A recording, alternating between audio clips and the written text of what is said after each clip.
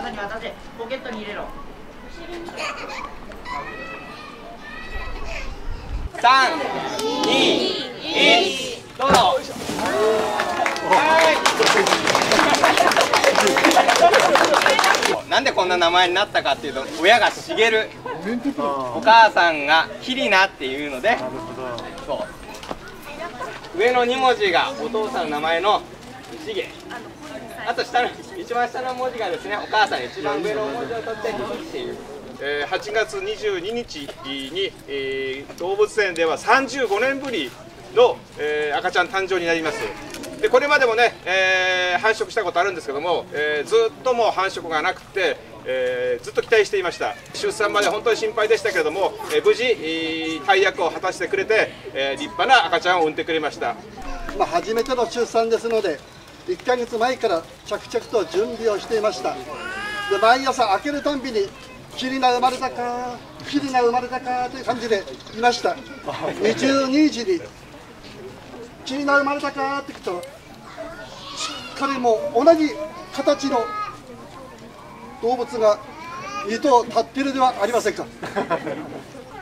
その後、えー初めての出産にもかかわらずもう安産で生まれましたので、えー落ち着いていて見事に、えー成長していきました。で2週間ぐらいあたりから、えー徐々にお母さんと同じものを口に含んで遊ぶようになりまして今ではもうすっかりね、えーお母さんと同じものを食べるようになりました。えー感謝状。命名刺激鈴木真中さん。はい。すみませんどうも。はい。あと記念品があと記念品です。よはい、ありがとうございます。はいやもう正直びっくりして、あのー自分はここに来てなかったのであのママとお姉ちゃんと3人で来た時に名前を考えたっていうことで自分がちょうど電話を受けて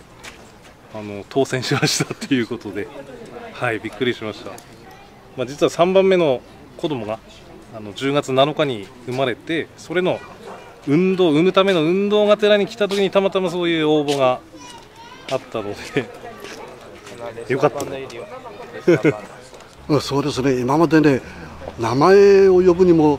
呼びようがなかったんでね、まあ嬉しいことは確かですね、うん、どうしても赤ちゃんということで、好奇心旺盛なんですね、で好奇心旺盛なあまりには結構ビクビクしてます。ですから、そういったのが災いして、うん、ちょっと事故ったりね、うん、足を挟めたりして、ちょっと1歳からね、大体5歳ぐらいまでがね、そういった事故死というのが多いんですね、キリンは。ですから、まあそのえーまあ、5歳児ぐらいまでは、なんとかね、あの慎重に慎重を重ねながら、毎日を、えー過ごしていければと思います。